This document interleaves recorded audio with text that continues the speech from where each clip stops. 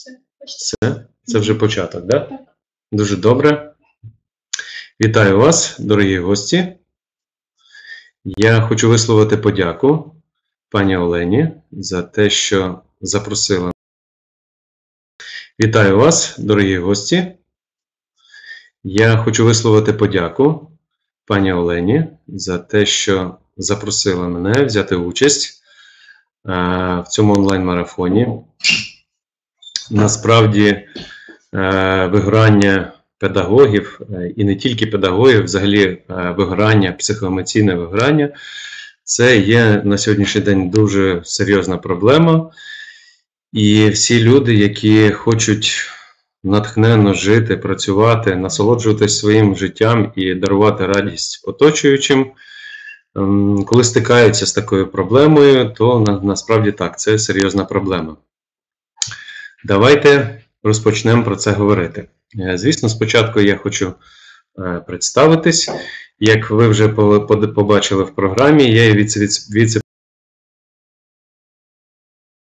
періодично щось висвічується. Так, е, і про це, про гуманну педагогіку, я буду розповідати трошки. Про гуманну педагогіку я буду розповідати трошечки більше. А якщо говорити про мій основний фах, то я є лікарем-стоматологом. У мене вже досить великий стаж. 23 роки працюю лікарем. І усі 23 роки, в тому числі, я лікую дітей. Їм дуже-дуже маленьких і дорослих, які потім стають дорослими моїми пацієнтами, стали моїми друзями. І, і крім того, я вам ще розкажу декілька цікавих історій про своїх маленьких пацієнтів. Крім того, в мене є освіта практичного психолога. Я за- закінчував е, другу освіту у 2005 році. Тобто Це вже 14 років пройшло, і можу сказати, що ця освіта е, мені дуже-дуже допомагає. Можу ще сказати, що протягом останніх трьох років е, я проходив свою власну особисту психотерапію. І скажу одразу, що це дуже важливий корисний досвід. Наперед скажу, що, ну, на мою думку, практично кожній людині я можу рекомендувати проходити свою особисту психотерапію. Це так коротенько про себе. Е, я думаю, що мене слухають дуже багато педагогів і, можливо, психологи. І, звісно, е, дуже часто педагоги задаються питанням, а е, чим може бути корисний е, лікар-стоматолог педагогам, освітянам, тому що, мабуть, професійна діяльність досить е, розбіжна. Я лікар, я займаюся лікуванням, в тому числі дітей. Ну, а ви вчителі, педагоги, освітяни, і ви е, навчаєте дітей, навчаєте, виховуєте, розвиваєте. Ну, спробую вам трошечки доказати, що я можу бути вам корисним, коли буду ділитися своїм досвідом. Ну, наприклад, е, переважна більшість дітей, особливо які переходять вже з е, молодшої школи до середньої, потім до старшої школи, не хочуть ходити в школу. І я можу вам сказати, що переважна більшість дітей не хочуть ходити до стоматологів. Тому одразу можу сказати, бачите, у нас яка така спорідненість. Тобто мені здається, що ми стикаємося з однією і тією проблемою.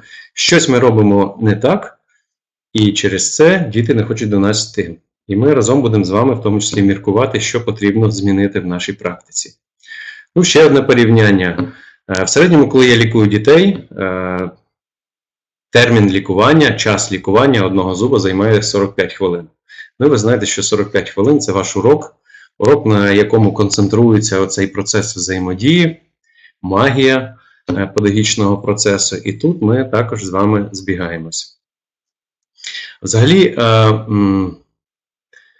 кожен е, візит е, дитини е, до лікаря, от я це особисто можу сказати, показує, які насправді відбуваються, формуються стосунки між моїм маленьким пацієнтом і мною особисто. Дуже часто стається так, що коли дитина приходить до стоматолога, вибудовуються такі примусові, вимушено примусові стосунки. Е, Дитина не хоче лікуватися, лікар її примушує або батьки примушують. О, Це один варіант. І другий варіант, я думаю, що ви про нього чули. Е, Цей термін свого часу застосував Василь Сухомлинський. Е, Між дорослим і дитиною може вибудуватись, вибудуватись такі стосунки, які називаються духовна єдність. Духовна єдність це якась така внутрішня довіра, спорідненість, яка виникає між дорослим і дитиною. І якщо вона є, я думаю, я впевнений, що кожен з вас це відчували і відчувають щодня. Якщо виникла духовна єдність з дитиною, то ця дитина вам довіряє безмежно, і ця дитина може виконувати ваші прохання і доручення, які, ну, здається, не мають ніяких обмежень. Е, Настільки е, довіра дитини має велику силу.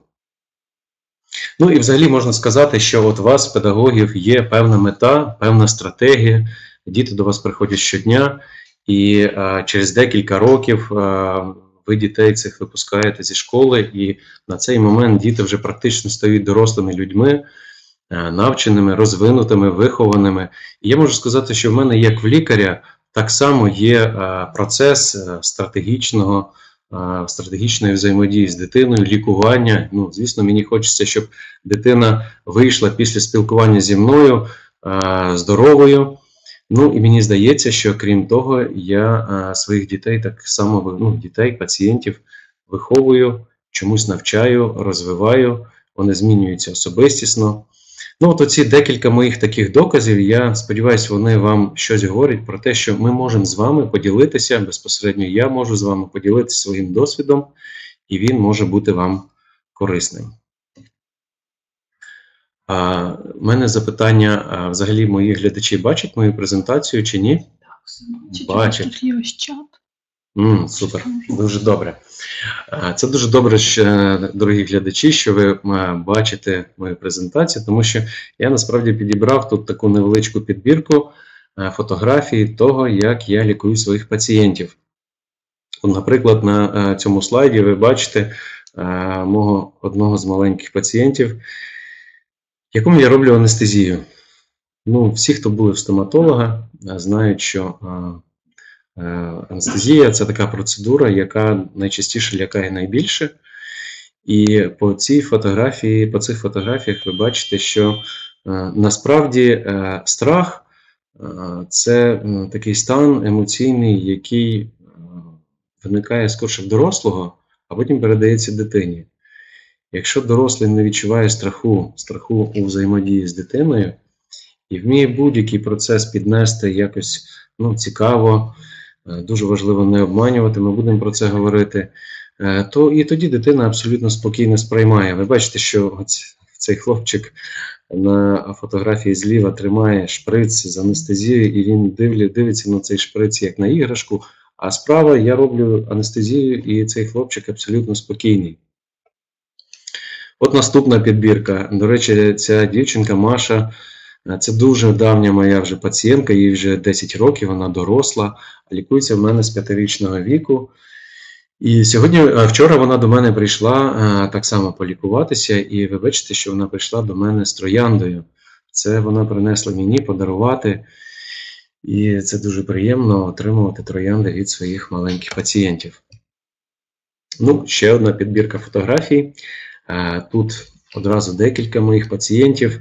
Е, Взагалі, лікування дітей е, це не суто такий формально-технічний процес, коли там дитина зайшла, сіла в крісло, я зробив анестезію, полікував зуб. Е, Це завжди живе спілкування. З одним хлопчиком ми займаємося спортом, стоїмо в планці. З другим хлопчиком ми з відбиткового матеріалу виліплюємо пригунчики. А ця дівчинка принесла мені свій улюблений капелюх е, у формі єдинорога і довірила мені, щоб я його приміряв, тому що, виявляється, вона не кожній людині це довірить. Е, Цими фотографіями я вам показую, що е, насправді такий ніби скучний і для багатьох людей страшний процес, як лікування зубів, може бути дуже веселий, е, різнобарвний, і, і ви бачите по емоціях дітей, що їм дуже цікаво і приємно приходити до мене. Мені здається, що е, чимось подібний процес так само е, може відбуватись в школі. Ми знову ж таки будемо про це говорити. Е, Діти можуть е, йти в школу через примус, через не хочу. Е, і шукати будь-який привід для того, щоб в школу не піти, з радістю хворіють, переховуються вдома. А є е, деякі вчителі, і чомусь мені здається, що більшість серед вас це самі такі вчителі, створюють оту духовну єдність, про яку я говорив з дітьми, і діти просто е, мріють прийти в школу. І я знаю таких вчителів і таких дітей, які говорять, що для них, для них найбільша і сувора е, догана е, це коли їм забороняють йти в школу. І вони просто там навпаки все роблять для того, щоб в школу потрапити. Це один з моїх найулюбленіших маленьких пацієнтів це Ваня. Знову ж таки, хочу вам показати, дивіться, е, цей хлопчик на фотографіях е, обирає, якими маленькими інструментами я буду проводити йому лікування. Обирає, допомагає мені їх там застосувати, використати, поставити там цей турбінний наконечник. Е, Це знаєте, я цими фотографіями вам показую і підводжу, що е, дитині дуже важливо приймати е, відповідальну роль і займати дуже важливе місце в тому процесі, який відбувається з нею. Тобто, якщо дитина вас навчається і там приходить на уроки чи приносить своє домашнє завдання, то дитині важливо відчувати, що вона не засіб виконання якогось процесу, а активний учасник. І як тільки дитина відчує, що вона активний учасник, і від неї залежить дуже багато чого, вона стає, стає найбільш е, заохоченою, зацікавленою, їй починає подобатись включатись в, цей, в цей процес. Ось, подивіться ці малюнки. Ну, якщо ви бачите, е, цей дуже гарний чоловік, який зображений на декількох малюнках, це я. Якщо ви бачите, діти дуже е, яскраво помічають там якісь мої особливості і передають їх. Е, В мене свого часу навіть була така виставка е, малюнків моїх маленьких пацієнтів. Вони цим гордилися, і мої відвідувачі, пацієнти також е, захоплено дивились на ці малюнки. Ось так, це була своєрідна моя презентація особиста. Я продемонстрував вам е, те, як відбувається процес лікування дітей. Потім, можливо, трошки будемо до цього повертатись. А тепер давайте е, поговоримо про те головне питання і ту проблему, через яку організатор Олена, е, от спікерів нас зібрала, і через яку ви поряд зараз знаходитесь і уважно слухаєте. Вигорання педагогів. Ну або психоемоційне вигорання. Ем, Ну, ми знаємо, про що йдеться. Йдеться про те, що бувають такі дні, або навіть тижні, а в когось, можливо, місяці і ще довші періоди, коли е, втрачається будь-яке натхнення е, і бажання е, працювати. Е, Коли е, просинаєшся зранку і ти не хочеш йти на роботу, шукаєш будь-який привід, щоб не йти на роботу. А коли приходиш на роботу, то від самого ранку відчуваєш втому і байдужість, е, через яку кожен крок і кожне слово дається дуже-дуже важко. Е, Оце все я перерахував, це е, симптоми і ознаки того, що оцей процес вигорання внутрішнього відбувається. І нам, мабуть, потрібно і дуже хочеться розібрати, що ж насправді в наших душах проходить, відбувається, через що це вигорання набирає оберти, і що з цим робити? Чи можливо уникнути вигорання, чи можливо його швидко долати? Е, Я спробую з вами поділитися своїми думками, своїм досвідом. От. І перший акцент, який мені хочеться поставити, це задати вам запитання, е, чи е, та робота, якою ви займаєтесь, чи є вона вашою улюбленою справою? Е, От ви щодня працюєте з дітьми, щодня оці такі відкриті щирі очі до вас приходять. Е, Ці діти діляться з вами своїми переживаннями, своїми труднощами. Буває, хтось соромиться і не ділиться, але по очах видно, що там щось дуже-дуже напружене відбувається. Ви проводите уроки, навчаєте дітей. І я це питання повторюю для вас, е, до вас знову. Чи насправді це те, що, про що ви хотіли, е, про що ви мріяли, і чим ви хотіли займатися в дитинстві? Е, Чи насправді, коли ви навчалися в університеті, е, і то ви розуміли, що кожен день, кожна пара це крок до тої, е, до здійснення вашої мрії, до якої до якої ви йдете?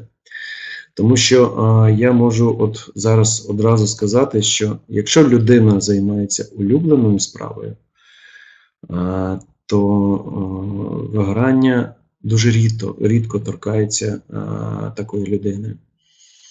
Якщо ж ви все-таки відчуваєте, що м, ця робота от, нібито не ваша улюблена, нібито в глибині душі ви хотіли би чимось іншим займатися, е, то потрібно всерйоз задуматись треба м, перебирати всередині в своїй душі, е, що саме е, ви можете в цій роботі здобувати. Адже йдеться, звісно, не тільки там про зарплату, яку ви отримуєте, там стаж, який накопичується. Е, Йдеться про те, що в кожного з нас всередині є такі наші глибинні глибинні потреби, які мають задовільнятися. І ці потреби, от вони скорше саме психоемоційні. Ну, одна із найважливіших потреб це бути щасливою людиною. І робота це те місце, де ми проводимо найбільше часу. Тобто щодня 8 або 10 годин ми проводимо на роботі. Ми набагато менше спілкуємося з, вашими, з нашими рідними, з нашими друзями. Ми навіть менше буває спимо. А, от. І тому треба розуміти, що робота, де ми працюємо, це має бути те місце, де ми кожної хвилини, кожної години щасливі і задовільняємо свій внутрішній психоемоційний стан. Переберіть, будь ласка, в собі, чи насправді ця робота, яку ви робите, от вона така. Пошукайте в собі ваші потреби і пошукайте можливість в школі біля дітей, чи це дитячі садочки, чи це позашкільні, заклади. Чи можете ви в цих місцях свою потребу задовільняти внутрішню психоемоційну? Якщо знайдете ці можливості, то починайте їх задовільняти. Якщо раптом ви, е, перебираючи, перебираючи, відвідуючи це місце своєї роботи щодня, відчуваєте, що все-таки це не те місце, ну то тоді така абсолютно пряма і проста порада. Е, Подумайте про те, щоб зайнятися іншою справою, щоб ця інша справа дарувала вам насправді радість. Тобто, це перший дуже важливий акц- акцент. Тепер я хочу вам з вами трошки поговорити про, таку, е, про таке питання, ну, про мотиваційну сферу людини. Я вже бачите, е, ми з вами торкалися, коли проговорили про роботу улюблена, не улюблена. І говорив про те, чи е, відчуваємо ми щастя і чи переживаємо ми радість, коли ходимо на свою, ну, відвідуємо свою роботу, коли працюємо. Мотиваційна сфера в кожному з нас це то, те внутрішнє е, джерело енергії і прагнення, яке по суті і штовхає нас щодня на те, щоб проснутися, вдягнутися, там, поїсти, піти на роботу і займатися нашими щоденними справами. Якщо умовно і спрощено поділити цю мотиваційну сферу, то так можна її поділити на три слова: треба, хочу і можу. Е, І давайте знову ж таки будемо е, відвертими один до одного і, і сам до себе, самі до себе. Е, Ми знаємо, що якщо ми щось дуже-дуже хочемо, то, мабуть, в нас немає ніяких перешкод, які би нам завадили задовольнити це своє бажання. Навіть якщо перешкоди дуже складні, то можливо ми можемо затриматись в часу до виконання нашої, там, нашого бажання, але все-таки ми можемо його добитися. І знову ж таки, е, це я говорю з вами, з дорослими людьми. Якщо щось ми дуже не хочемо робити, але в глибині душі ми розуміємо, що треба, то можливо ми це будемо робити, і буває навіть щодня ми це робимо, але виконання треба, але не хочеться, не тільки е, не дарує нам радості, а ще й постійно позбавляє сил. І є третя ем, сторона ще от мотиваційної сфери це слово можу. І слово можу насправді показує, е, ну не просто показує, слово можу дає нам е, сили і наснаги. Тому що коли ми беремося за справу і впевнені, що ми можемо її виконати, то це підвищує нашу самооцінку, робить нас більш впевненими. І навіть якщо перед нами якесь дуже-дуже складне завдання, але ми впевнені, що ми можемо його виконати, то ми з радістю за нього е, за нього беремося, за це завдання. Я хочу з вами е, зараз про ці сторони треба, хочу і можу поговорити, тому що, на мою думку, е, мотиваційна сфера і ці три її частини дуже важливі і взагалі в нашому житті, і в контексті питання психоемоційного вигорання педагогів і взагалі людей. Якщо говорити про класичну побудову життя людини і місця цих частин наших, нашої мотиваційної сфери, то, як ви бачите вже на цьому слайді, ми всі мріємо. В нас є мрії, і це дуже добре, коли вони є. Всі наші мрії мали би здійснюватися. І, до речі, взагалі існування мрій, які можуть насправді здійснитися, це говорить про певну нашу зрілість і дорослість внутрішню. От. І, е, звісно, коли народжується мрія, ми щось хочемо, нам дуже захотілося щось здійснити, то е, має народитись якийсь план, е, яким чином ми цю мрію маємо здійснити. Тобто, якщо, наприклад, ми мріємо збудувати будинок, то нам потрібно дуже багато що продумати. Нам потрібно продумати, де в якому місці ми будемо цей будинок будувати. Нам треба продумати, яка буде його площа, яке буде планування, які комунікації треба підвести. Багато-багато, що скільки потрібно грошей на це заробити, щоб будинок збудувати. І е, по великому рахунку, е, якщо це ми продумуємо самі, то ми можемо долати багато труднощів. Якщо ми задіємо дизайнера і архітектора, то цей план це, по суті, дизайн-проект, який готується.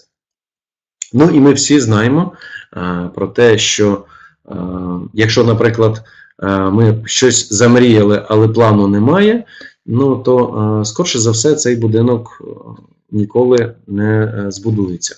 От, до речі, я тут тільки зараз побачив, що коли я готував презентацію, я тут зробив помилку. Бачите, я тут позакладав відсотки е, на мрію, на плани на реалізацію всюди і всюди вказав по 40%. Ну, це щось дуже забагато виходить. Ну, Ми зараз до цього підійдемо. Тобто йдеться про те, що е, якщо плану немає, то мрія, скорше за все, просто залишиться мрією нездійсненою і ніколи не реалізується. І ми вже знаємо по нашому житті, що коли ми щось дуже-дуже продумали, розпланували, то потім нам дуже легко цю мрію реалізовувати. Просто свідомо розуміти, скільки треба часу і зусиль, грошей, наприклад, і ми це реалізуємо. Якщо ми говоримо про ну, психологічні знання, які нам говорять, скільки в нашій внутрішній мотиваційній сфері відсотків має займати мрія планування і реалізація, то виявляється, що на мрію закладається 40%, на планування закладається ще 40%, а от де потрібно відрізати половину, то це на етапі реалізації. І оті слова, про які я вам говорив, хочу, можу і треба, вони якраз поділяються на три сфери. Як ви бачите, наша частина внутрішня, яка от приділяється от частині хочу, вона є дуже важлива. Вона займає майже половину нашого внутрішнього світу і наших внутрішніх прагнень.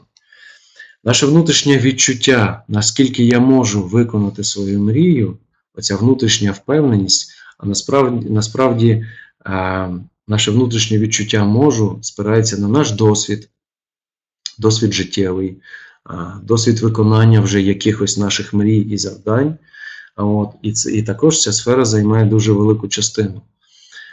А от слово треба, таке, яке ми дуже вже всі до нього звикли, е, в цій, е, в цьому плані, який ми з вами тільки що проговорили, займає лише 20%.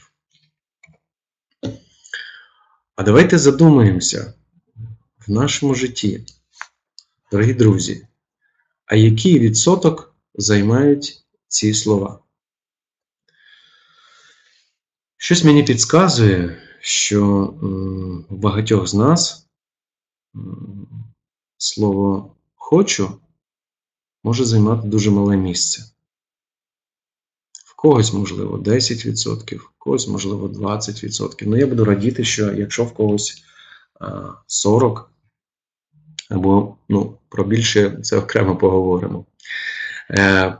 Е, я навіть можу сказати більше. Якщо ви пам'ятаєте, я вам згадував, що е, проходив трьохрічний період ну, особистісної терапії. Так от до цих, до цих трьох років в моєму житті е, слово треба займало, мабуть, мало не 90%.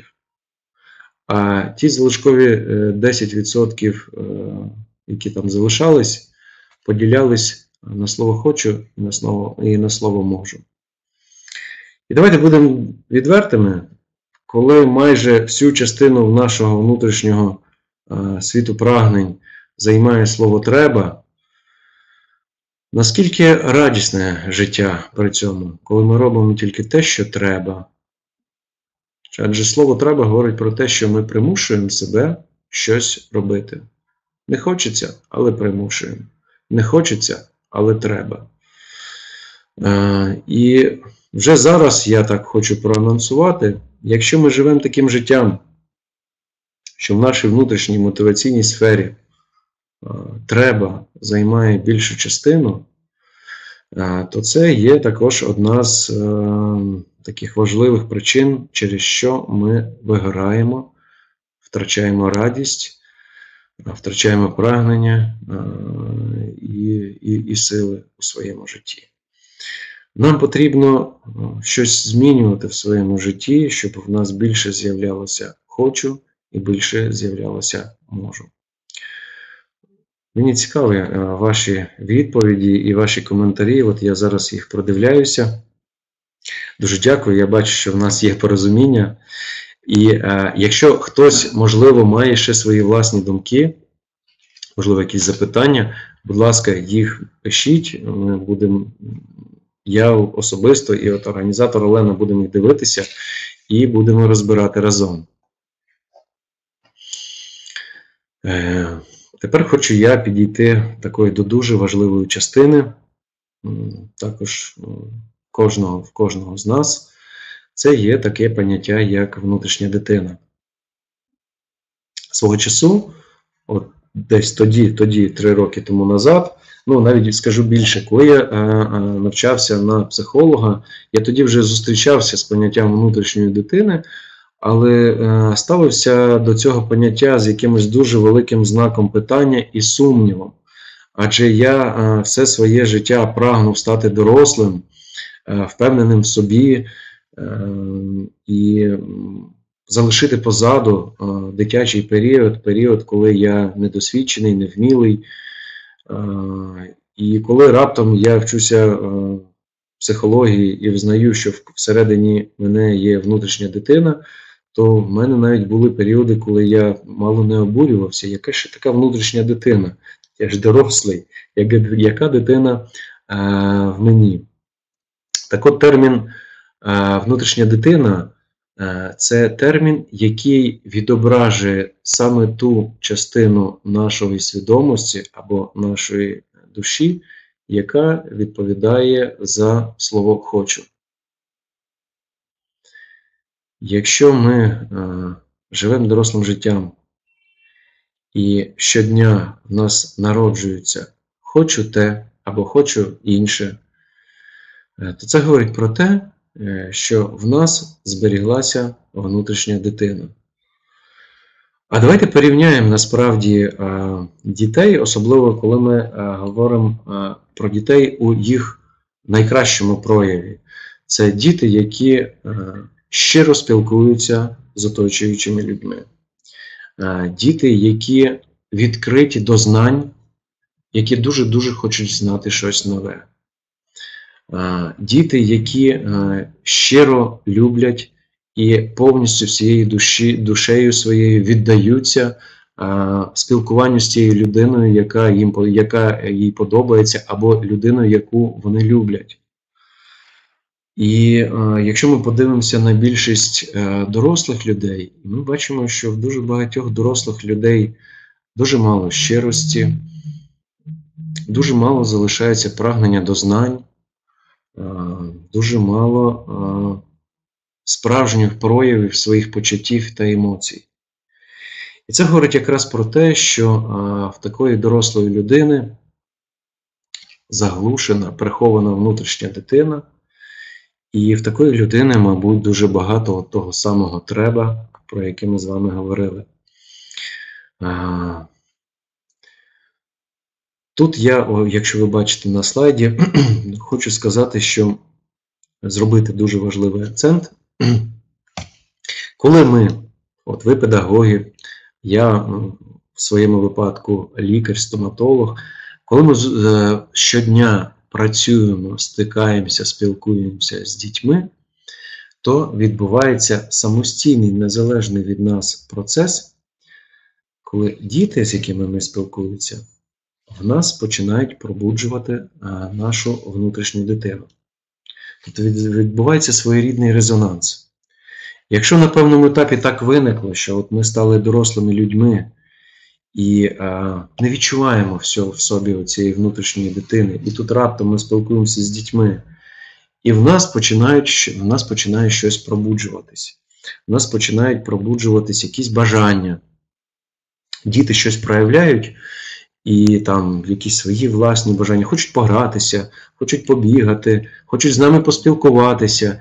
І це бажання є таке настільки сильне і нестримне. Якщо в нас всередині е, проявляється от в наші внутрішні бажання, але ми їх самі собі забороняємо, тому що в нас є такий ценз нашого треба і нашого табу, то тоді е, ці діти, які отак от хочуть, граються, емоційні дуже, вони починають нас дратувати. Е, Це дуже важливий нюанс, тому що коли ми відчуваємо, що ми дратуємося на дітей, то насправді відбувається трошки інший процес. Насправді ми дратуємося щодо самих себе. Ми дратуємося щодо того, що в нас всередині відбувається якийсь процес, пробуджуються якісь бажання і внутрішні сили, які ми самі собі забороняємо. І це ви, мабуть, відчуваєте, що так або інакше, оце роздратування і це пробудження всередині також гра- відіграє дуже важливу роль от або у вигоранні, або у щасливому житті. Давайте рухатись далі. Як я вже вам сказав, внутрішня дитина у дорослому проявляється через слово хочу. Я зараз хочу задати вам, дорогі друзі, запитання. А скільки разів на день ви відчуваєте, що ви чогось хочете? Наскільки ви усвідомлюєте свої бажання? І е, що дуже важливо, скільки разів на день ви реалізуєте свої бажання? Я зустрічав дуже багато дорослих людей і свого часу е, був е, таким самим, е, що протягом дня в мене було дуже мало бажань. У мене весь день, весь день був розпланований. Зранку я просинаюся, але не хочу. Я би хотів поспати.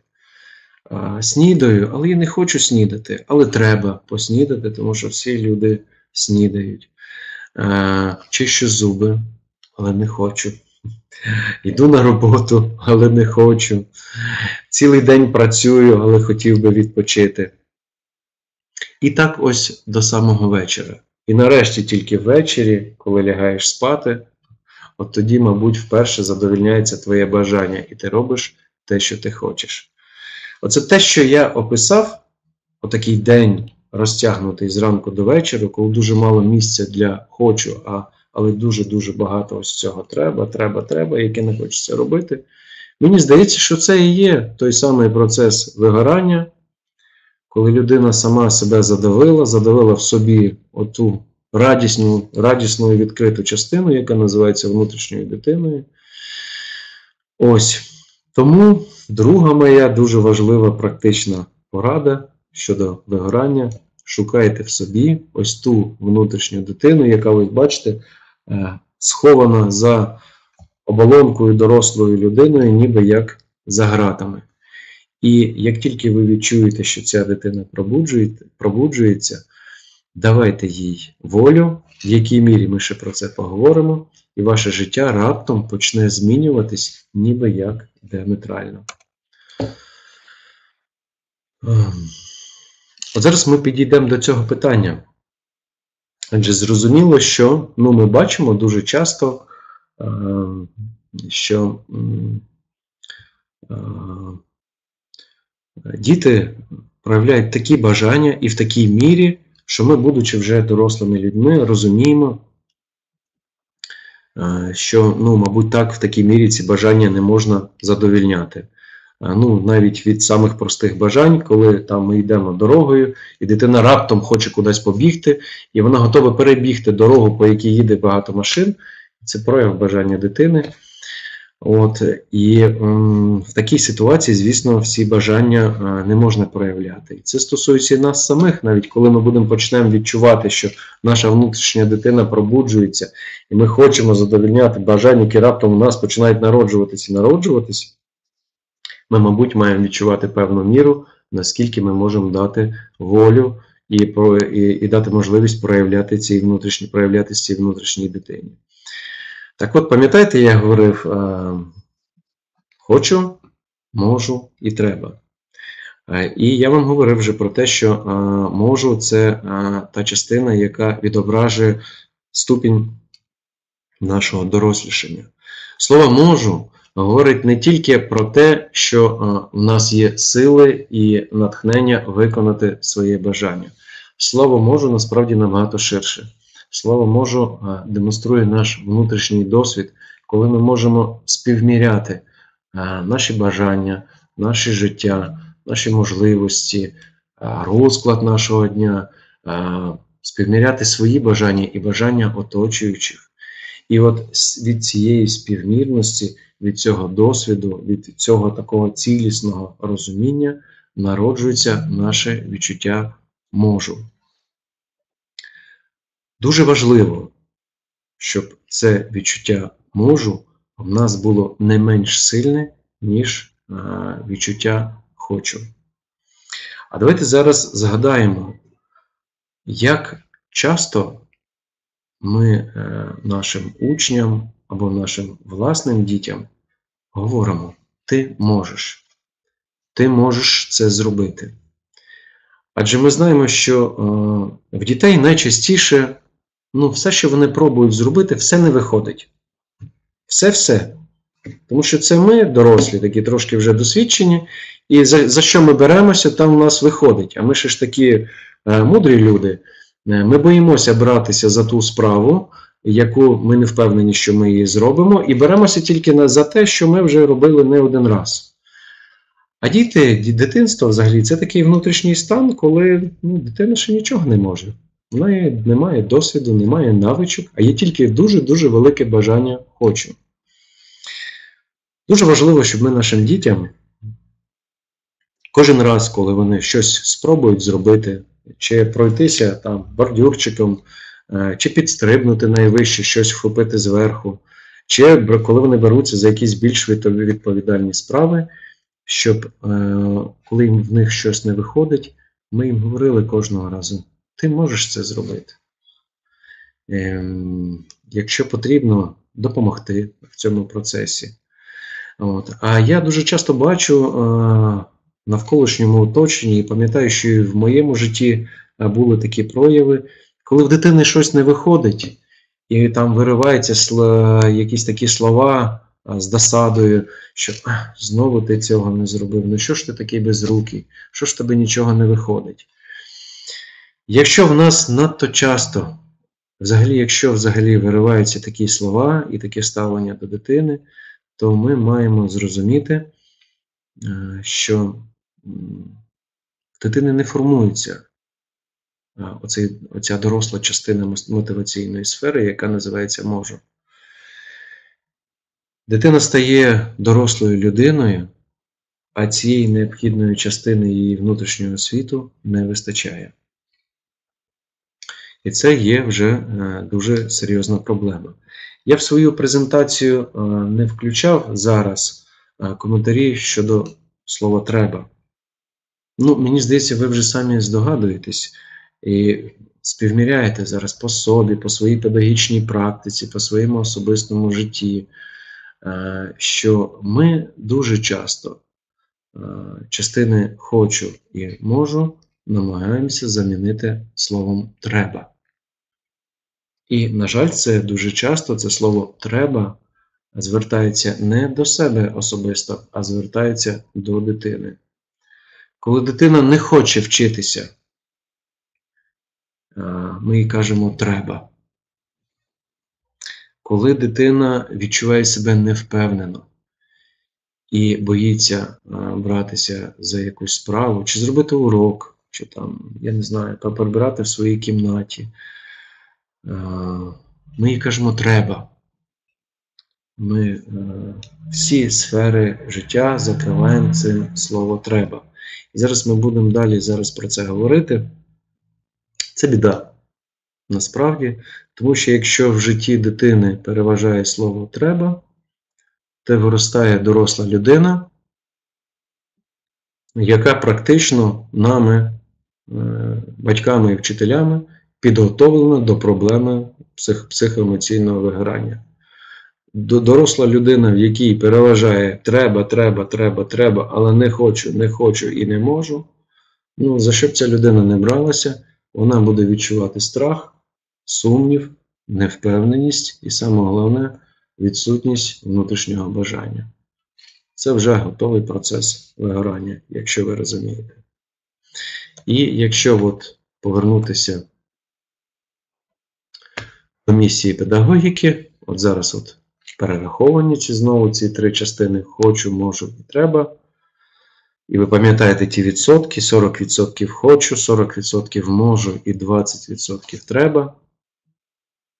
40% мрії, 40% планування і 20% реалізації. Нам дуже е, потрібно е, і всередині розкласти і знайти ці джерела, і потім навчитися дітям дуже правильно допомагати розвиватися такими цілісними, гармонійними, і в тому числі у мотиваційній сфері. І от зараз ми з вами е, підійшли до питання педагогічної практики.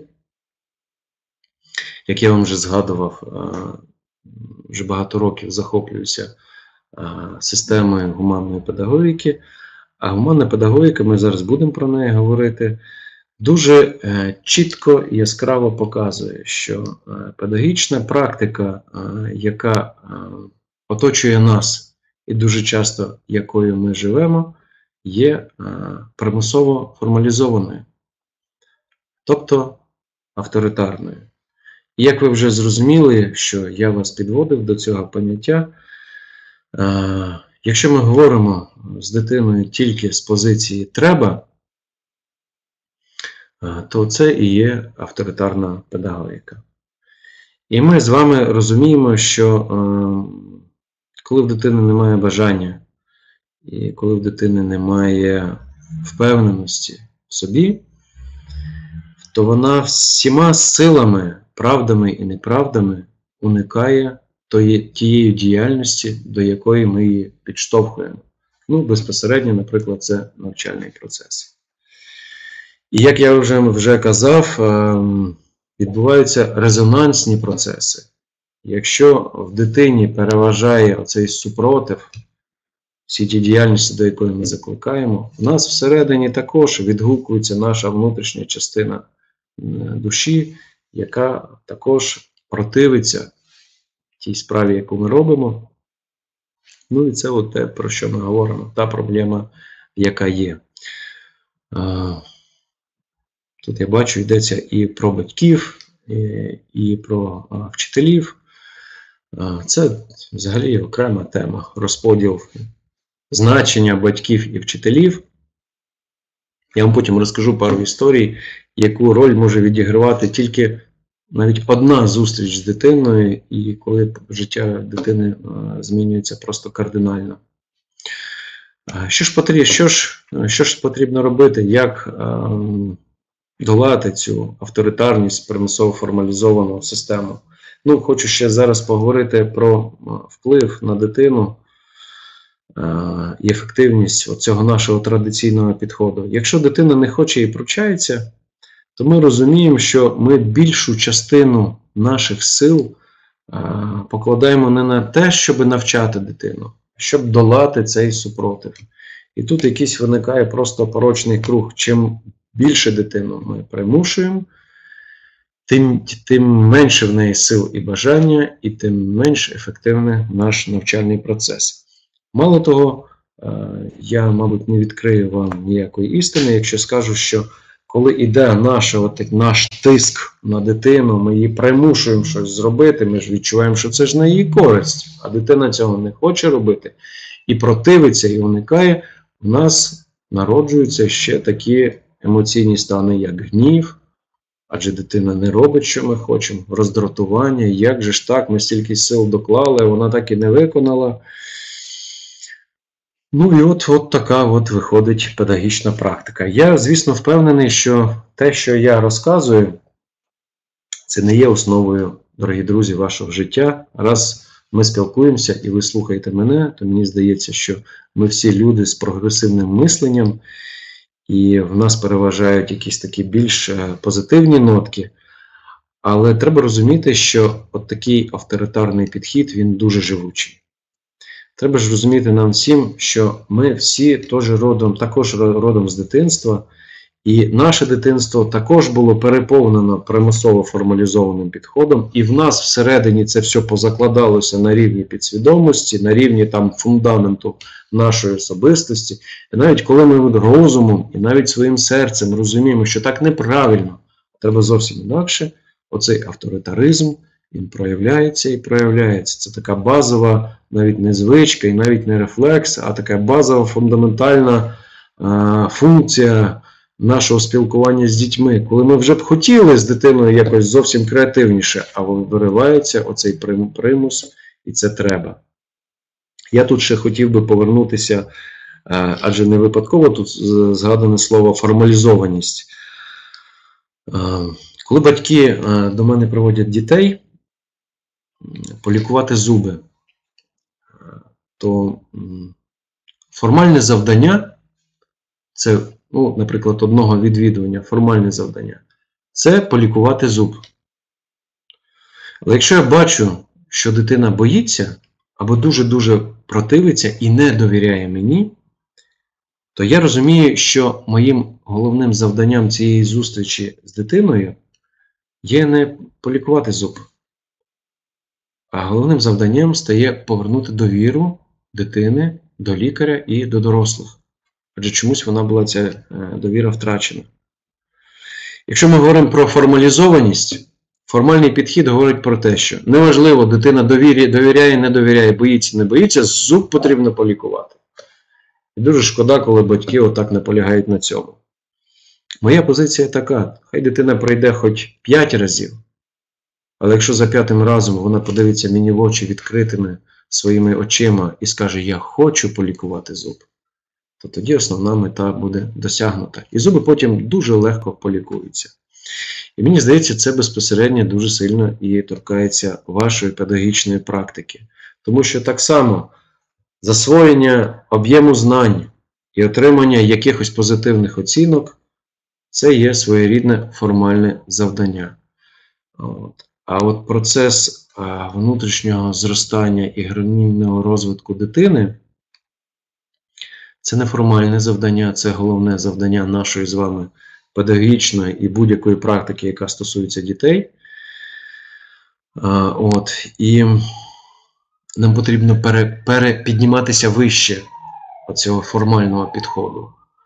Тому що внутрішній світ дитини робить свої виклики щосекунди і, і, і щодня перед нами.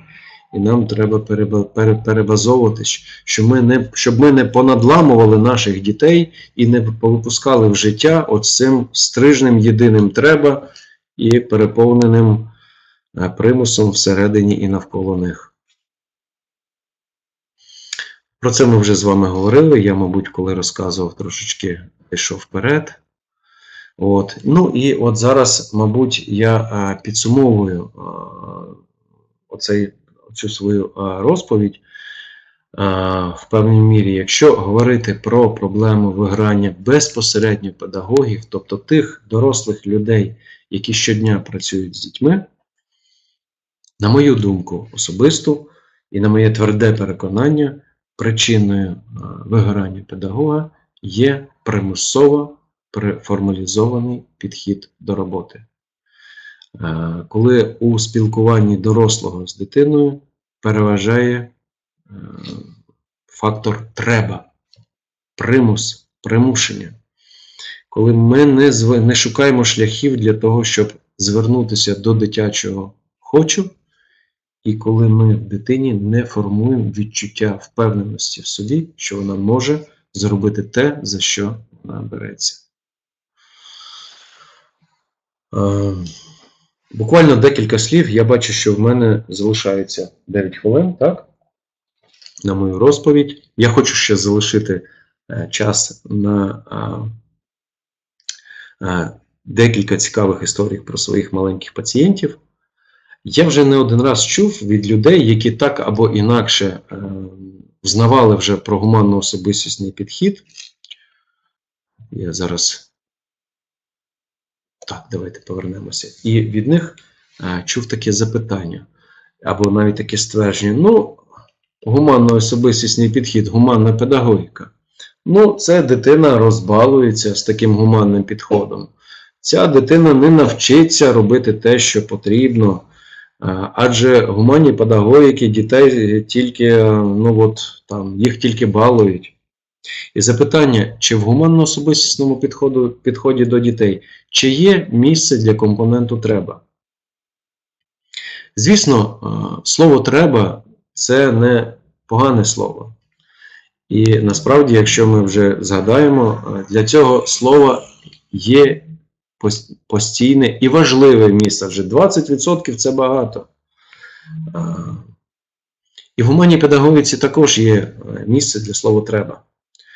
Е, Справа в тім, е, що яким чином це слово треба ставиться перед дитиною. Ви пам'ятаєте, як е, діти, наприклад, грають у футбол чи грають в ті ігри, які вони самі для себе побудували? Коли діти самі домовились про умови гри, вони свято цих умов притримуються. Якщо хтось серед них стає порушником цих умов, то всі ці діти роблять все, щоб правила гри підтримались. Так от, е, якщо говорити про е, слово треба в гуманній педагогіці, то слово треба також є. Але дуже важливо, щоб дорослі з дітьми проговорювали всі умови спілкування, співпраці і навчання. Попереджали про ті умови, які вибудовуються. І говорили про те, що ти приймаєш наші правила гри, ти приймаєш наші правила співпраці. Якщо дитина приймає ці правила гри, то тоді слово треба з'являється для того, щоб підтримувати ці правила. І повірте, діти за таких умов з радістю цих правил притримуються. Хочу обов'язково зараз розказати про засновника гуманно-особистісного підходу до дітей.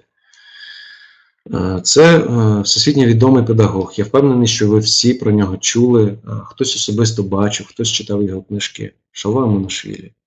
До речі, Шалва Олександрович завтра зранку прилітає в Київ і в суботу в стінах університету Драгоманова буде разом з нами працювати, адже будуть проходити всеукраїнські читання з гуманної педагогіки.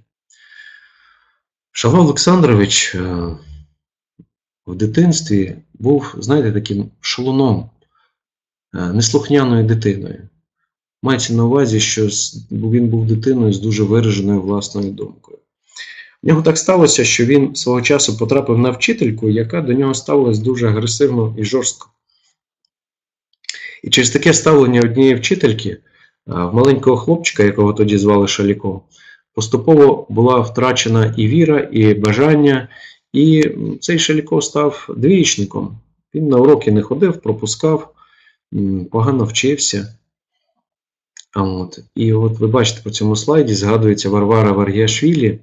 Свого часу в нього з'явилась така вчителька, яка протягом року і навіть більше відновлювала цьому маленькому хлопчику віру в себе, е, віру в те, що він може, і повертала йому бажання до е, навчання і до мрій. І ви знаєте, е, ця діяльність вчительки настільки виявилася успішною, що завдяки їй е, Шаліко, який потім став всесвітньо відомим педагогом, школу закінчив із срібною медаллю. В нього була тільки одна четвірка по одному предмету, і ви, мабуть, здогадуєтесь, що то був за предмет і що то була за вчителька. Це та сама вчителька, яка до нього ставилась надзвичайно агресивно і несправедливо. Е, на жаль, е, в мене обмаль часу, і я би хотів би про Шалву Олександровича розказувати багато-багато, але просто до вас звертаюся е, вбити декілька букв в гуглі, набрати два слова Шалва Монашвілі, і вам відкриється дуже багато і його виступів, і його книжок.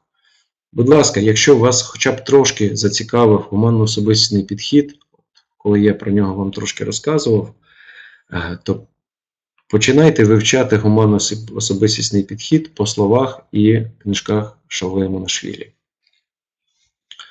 А тепер я вам хочу розказати одну історію. В мене залишилось ось 4 хвилини. Декілька років назад е, до мене подзвонила пацієнтка по телефону і захотіла записатися на прийом. А подзвонила, я її записав, приходить до мене, приходить така дівчина, молода, років 19-20, і показує мені передній зуб, там якась пломба потемніла, треба її поміняти. Я починаю їй розказувати, що, як стоматолог, що потрібно робити. А ця дівчинка, знаєте, вона на мене дивиться, слухає мене, а по очах видно, що вона ніби як мене не чує, а думає про щось інше. І в якийсь момент я настільки яскраво це побачив, що зупинився і питаю: а її звати Саша? Саша питаю, Саша, скажи, будь ласка, що не так я говорю? А вона отак дивиться, замріяно, ніби як крізь мене, і питає: Ігор Олегович, а ви мене зовсім зовсім не пам'ятаєте? Мені так, знаєте, аж соромно стало, як я можу не пам'ятати свою пацієнтку. Я починаю щось виправдовуватись і так далі. А вона на це не звертає уваги і мені говорить: ви знаєте, я вісім років мріяла стати стоматологом. Ну, моє це белькотіння і виправдовування перервалося, і я кажу: розказуй. І Саша мені розказала, їй було років вісім чи сім. Е, Вона приїхала в інше місто е, з своїми батьками в гості до родичів. Е, Гралася, впала і зламала передній зуб. Їй було дуже боляче і страшно. Її привезли до лікаря-стоматолога. А цим лікарем-стоматологом був я. І я полікував їй цей передній зуб. І вона поїхала, в інше місто повернулася своє. І з того часу я багато-багато років її не бачив. І тому, мабуть, я її не запам'ятав, тому що тоді їй було 7-8 років, а прийшла вона до мене дорослою 19-річною дівчиною. А вона мені говорить, що Ігор Олегович, ви пам'ятаєте, розумієте, що після цієї зустрічі, після того, як ви мені полікували цей зуб, я 8 років мріяла стати стоматологом. Я її запитав, чи стала ти стоматологом. Ну, вона каже: ви знаєте, ну, мама сказала, що е, не вистачить грошей, і я поступила е, в інший навчальний заклад. І зараз, от вона тоді, коли до мене прийшла, вона була студенткою, а вона каже: мені так захотілося вас знайти і вам про це розказати.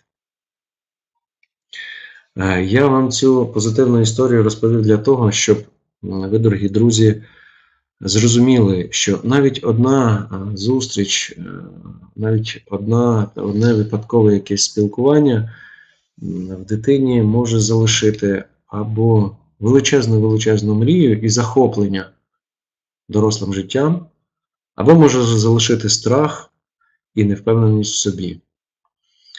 І тому давайте думати про те, що ми несемо дітям, тому що наша внутрішня душа, наша внутрішня дитина на все це відгукується.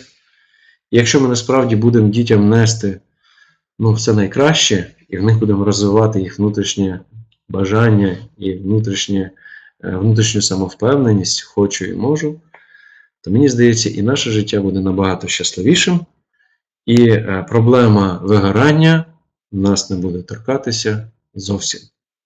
І на цьому я хочу завершити е, свій виступ. В нас є тут декілька е, запитань, е, на які е, я хочу вам відповісти. От було перше запитання. Вважаю, що гуманний виховний процес не має права користуватись насильницькими методами. На вашу думку, чи можна заохочення і покарання, які часто використовують батьки і деякі вчителі, вважати нешкідливими засобами? Дайте поради щодо роботи з такими батьками та колегами, які користуються насильницькими методами та підтримкою адміністрації школи. Дякую. Ну, я так розумію з цього запитання, що е, автор запитання е, ну, вже переймається цим підходом. Ну, звісно, е, насильницький метод, як ви вже зрозуміли, він перекреслює все найкраще і е, в дітях, і безпосередньо в самого педагога або, або це в батьків. І ну, як спілкуватись? Е, Треба зуміти цьому педагогу і цим батькам е, показати на їх власному прикладі е, неефективність і шкідливість такого підходу. Треба якось так уміло ну, звернути на самого педагога, якісь приклади йому зробити, якусь обіграти ситуацію. Бо інакше, звісно, нотації і повчання ні одна доросла людина не зрозуміє. Друге питання: вкажіть практичні заходи для подолання педагогічного виграння. Як з цим справитись самостійно? Ну, я вже, мені здається, відповів на це запитання. Дайте волю внутрішній дитині. Е, Бажайте, здійснюйте е, і поступово наповнюйтесь внутрішнім, е, внутрішньою впевненістю, своїм відчуттям, що ви можете робити те, за що ви беретеся. І я впевнений, що від цього і дітям навколо вас настане набагато краще. Де знаходити натхнення та емоційні сили? Мені здається, що відповідь я на це запитання дав. А, Якщо ви вже розівчилися мріяти, то починайте знову. Але, звісно, починайте мріяти навіть про якісь маленькі речі. Наприклад, я колись дуже мріяв е, їздити е, на конях. Ну і можу вже сказати, що останніх три роки я займаюся верховою їздою, і ну, це дарує мені дуже, дуже багато е, натхнення. Займайтесь тим, що ви хочете. Насправді для цього не, не потрібно дуже багато. Що ми отримуємо від хочу і можу одночасно? Мені здається, той, хто запитав, насправді знає відповідь. Ми отримуємо щастя. Коли ми хочемо і реалізуємо це, ми просто щасливі. Дорогі друзі, я бажаю вам бути щасливими у вашому житті. І діти, які з вами спілкуються, також будуть щасливими. щасливими. Всього вам найкращого і дякую за вашу увагу. Дякую, що ви були разом з нами. Дякую Олені, організатору цього марафону.